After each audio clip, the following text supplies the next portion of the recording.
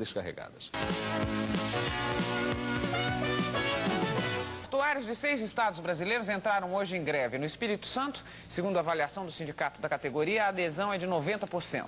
A greve afeta os portos de Vitória, Capuaba e Pau. Cinco navios estão parados no porto e mais 16 na Baía de Vitória. No Rio de Janeiro, até os funcionários da administração da Companhia Docas do Rio aderiram ao movimento. Os portuários exigem o cumprimento do acordo de 1 de junho, que prevê uma reposição de 37%. Além da reposição, os 3.500 funcionários das docas do Rio reclamam pela contratação de novos funcionários em substituição às companhias empreiteiras que ocupam 50% do quadro funcional das docas. Nosso interesse não é absolutamente de prejudicar a população de maneira nenhuma.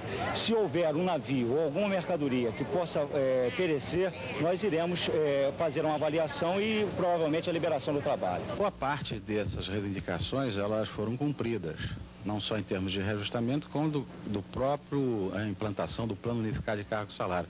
Mas essa decisão não é da Companhia Docas do Rio de Janeiro, essa decisão é exatamente do CISI e da Portobras em Brasília.